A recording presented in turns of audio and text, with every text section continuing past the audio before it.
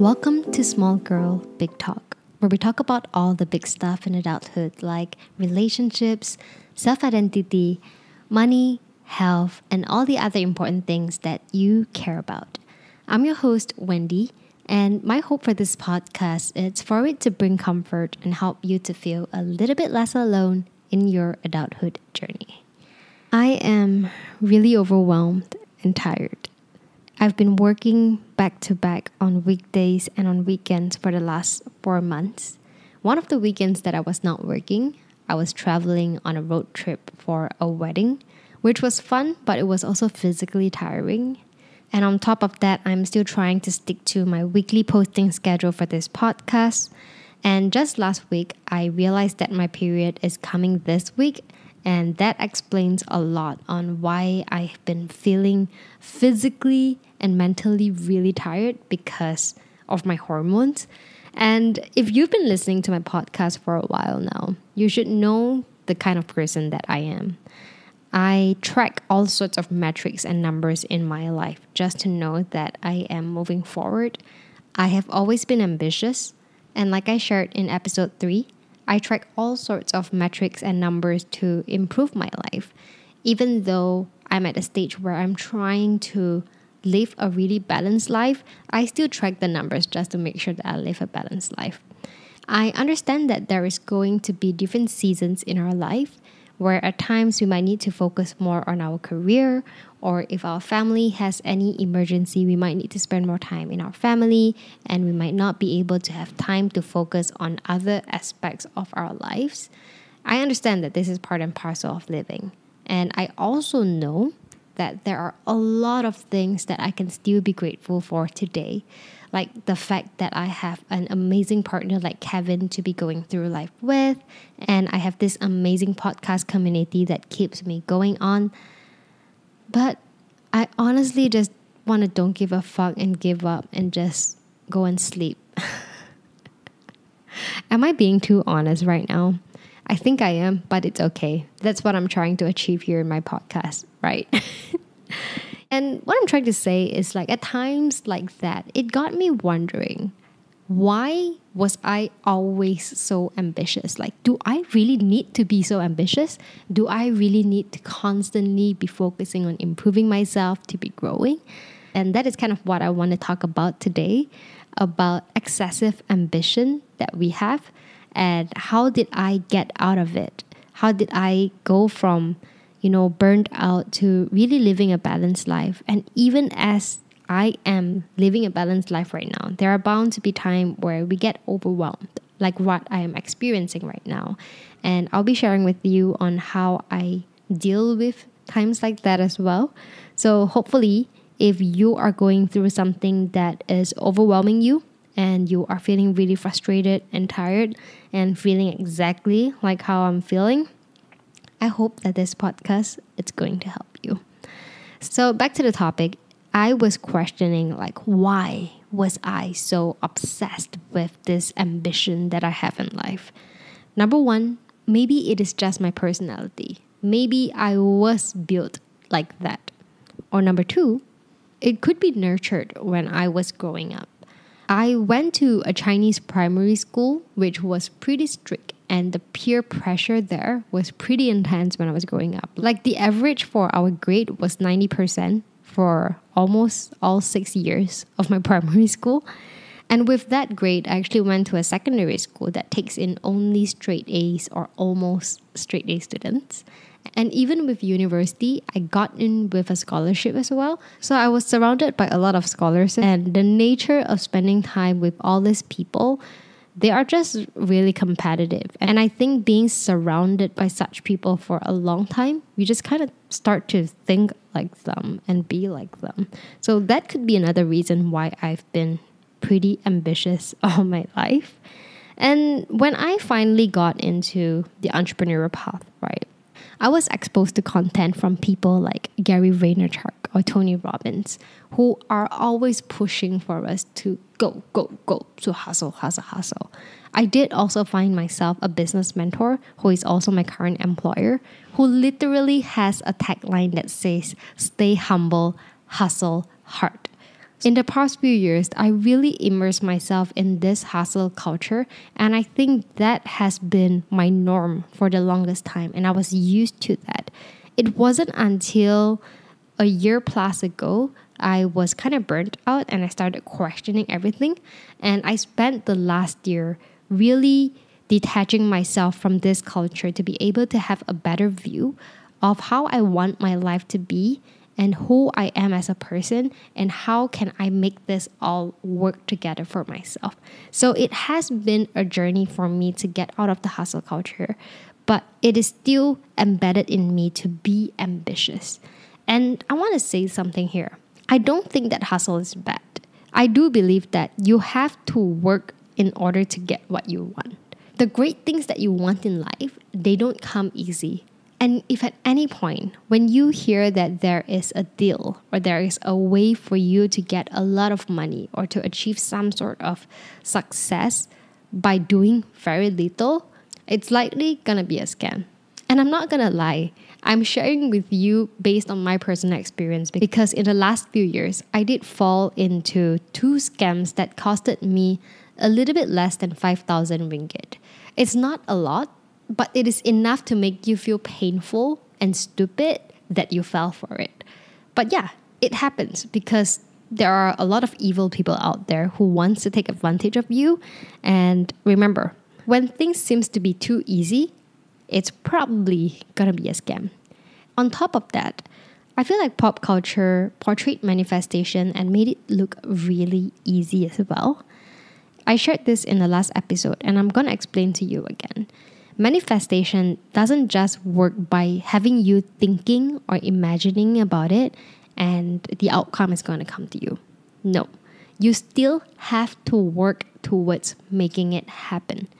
It's just that through manifestation, when you indeed believe that something is meant for you, it makes it easier for you to flow towards the outcome. Perhaps it is a Gen X or a millennial thing, that we were raised to think that we have to work hard in order to get what we want. Which is why, whenever we come across Gen Z, we always think that they are really entitled or they are weak and they couldn't handle hard work. But what if we are meant to learn about this mindset from the Gen Z as well? You know how that there are certain things that we saw our parents go through and we learned from their mistake and avoided them? I believe that Gen Z has also observed something from our generation or our parents' generation and are avoiding something as well. And my conclusion is this instead of just blindly following what everyone else in our previous generation and our generation thinks, and instead of judging Gen Z for being entitled or not like us at all, I realized that it's truly about finding the balance between these two school of thoughts where we really need to hustle to get to where we want, but we also should be enjoying life and taking things easier to get to where we want. Because what is the point of living when we are just going to be blindly hustling so hard that we missed out the experience of living itself. And that is when I decided to preach the concept of the soft hustle. Instead of hustling so hard, you can hustle soft to get to where you want. What we want to do is truly to work towards where we want, where we put in the energy, the strategy, and the effort to get to where we want, while also experience life through play, rest, and time with our loved ones. And that is how I've been living my life in the past year or so. And with this soft hustle, it doesn't mean that life is going to be easy.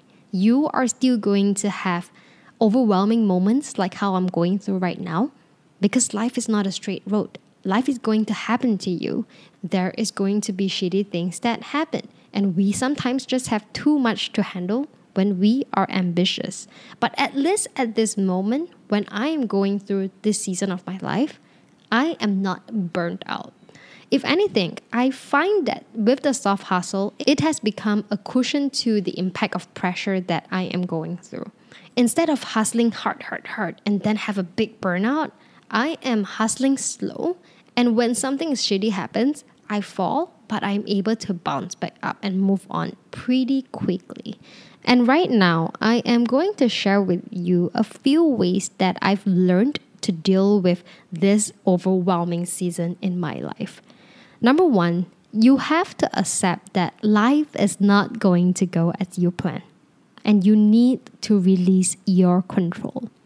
I understand how it feels to want to have control over every single thing, thinking that you are able to make things right for yourself. Yes, sometimes we need to fix things by ourselves, but most of the time, you just need to learn to release and let life happen for you. You know, you got to embrace the ups and the downs and just trust that whatever is meant to you will come to you. Number two, you have to also practice self compassion. Go easy on yourself. For me personally, I have always been pretty disciplined when it comes to certain goal or ambition that I've set for myself. But in this past two weeks of feeling so tired and stressed out, I had to learn to let go and accept that I cannot achieve every single thing at once.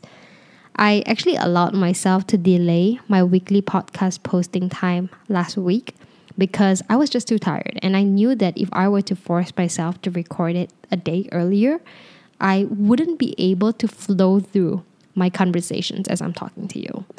And because of the delay, I found that I've created one of my favorite episodes so far, and I actually received really good response about it as well.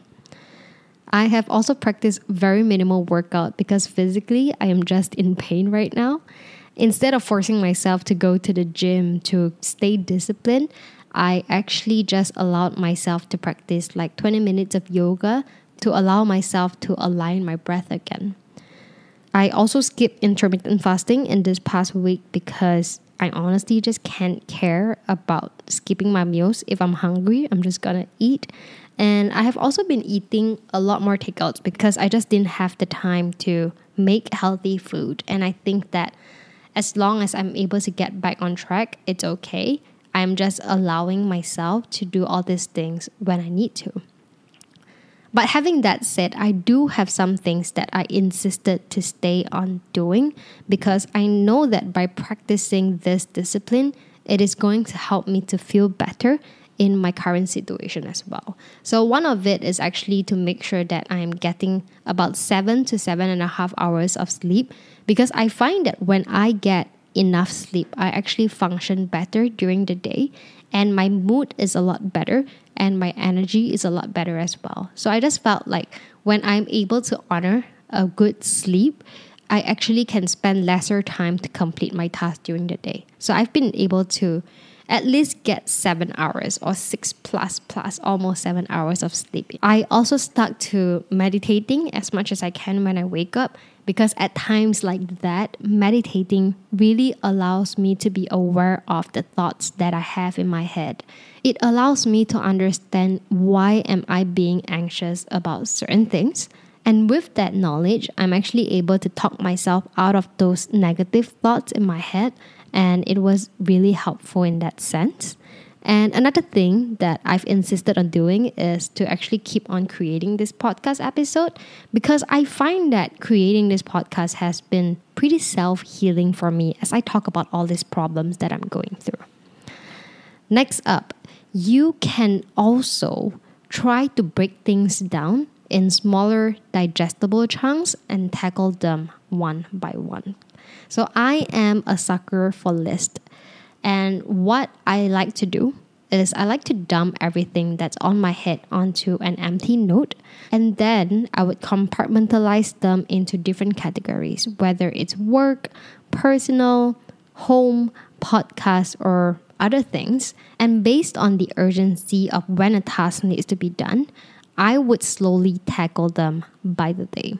For example, if you are really overwhelmed and you feel like your house is really messy right now, instead of just stressing out that you have to clean your house all at once, maybe what you can do is to actually clean your bathroom today as you are showering, and then tomorrow change your bed sheets, and then the third day do your laundry.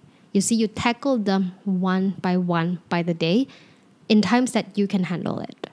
Or for myself, you know how I was saying that I actually had a lot of takeouts last week because I didn't have time to cook and I didn't have groceries? I finally had the chance to make a grocery list last weekend and I asked Kevin to help me to go get the groceries. And speaking of getting help, that is my tip number four, which is to ask for help. And I hate to break it to you, but you are not going to receive any award or prize or applause for being the most independent and strong person in the room. So instead of sticking to that ego that you have, I want to encourage you to communicate about your needs and ask for help from your loved ones. If they love you, if they care about you, they would be more than happy to be able to help you to ease your burden. So start delegating, start asking for help. If you need help from a friend to get groceries, talk to them. If you just need to tell someone about the pressure that you have in work, you can just talk to them without asking them to give you an advice. If you keep keeping things to yourself, you are going to explode one day. When that happens, it's not going to look good for you or for anybody around you. So, that said, I had my moments where I still feel like, fuck it, I don't want to give a fuck anymore. And I end up procrastinating for a few hours scrolling on TikTok. I did that quite a lot in this past week. But with these things that I just shared you, after those moments of procrastination, I was able to slowly get back on track by tackling my digestible tasks one by one, and I am still moving on. And I like to think that that is what life is really about. It's really about keep on moving forward after a break, after a rest, after a failure, or even after a celebration. Life just keeps on going on. If you are feeling overwhelmed right now, maybe you feel like you are drowning in your problems and all these things that you need to do. I hope that what I shared today is able to help you to at least bit by bit tackle your problem to slowly swim towards the surface so that you can breathe again. You know, as I was writing and planning for this podcast episode today, for those of you who are watching the video podcast, you would notice that I'm reading out of my book instead of my laptop today. These notes end up to be kind of like a journal entry that ended up being really therapeutic for myself because I was able to kind of look into my thoughts and it was able to help me to figure out what exactly was bothering me as well. And so I want to end this episode by thanking you for tuning in and listening to my rant and helping me to figure out all these thoughts that I have in my mind. I hope to see you in my next episode, and this is goodbye. Bye.